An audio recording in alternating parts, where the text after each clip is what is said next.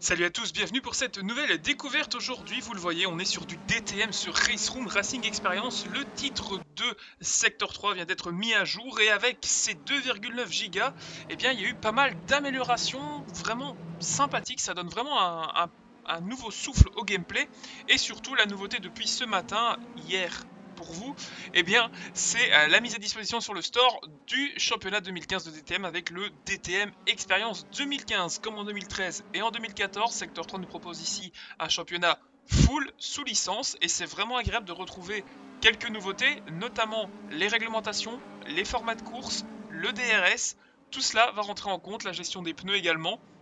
Donc on va avoir un championnat ici euh, qui va vous être présenté sur trois vidéos. La première au Nürburgring, la seconde sur le Red Bull Ring et enfin quelques plans du circuit de Zandvoort avec chaque fois une des trois voitures dans laquelle vous aurez des caméras embarquées et différents plans pour que vous puissiez voir le travail de modélisation sur chacun des modèles.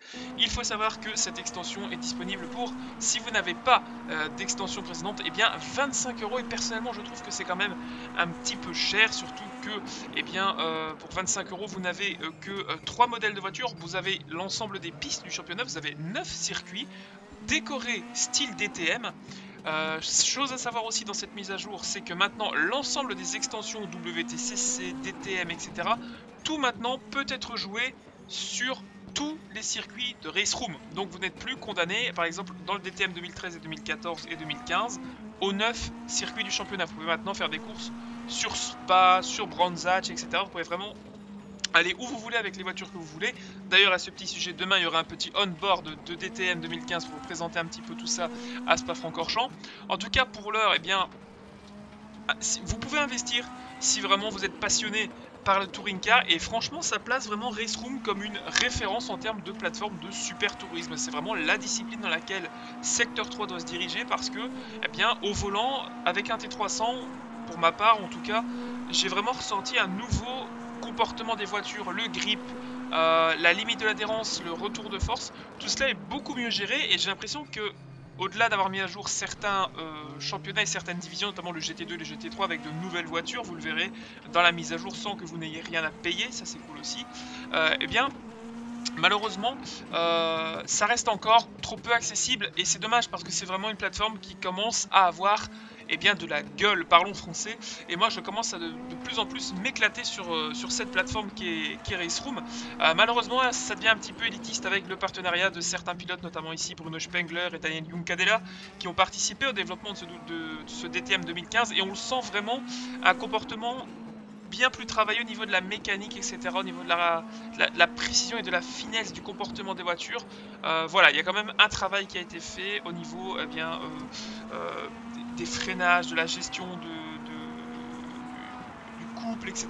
Donc vraiment le comportement est totalement différent.